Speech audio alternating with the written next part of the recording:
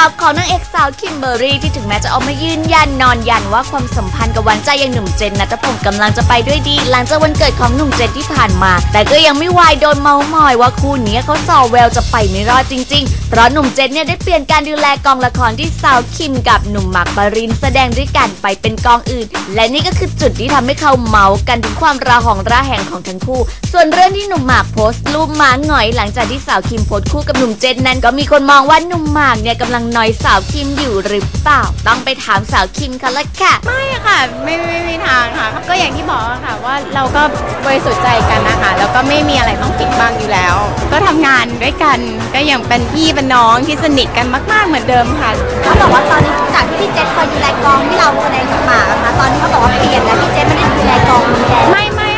ค่ะจริงๆแล้วพี่เจษก็ยังก็ยังดูแลอยู่เพราะว่ามันก็เป็นงานของเขา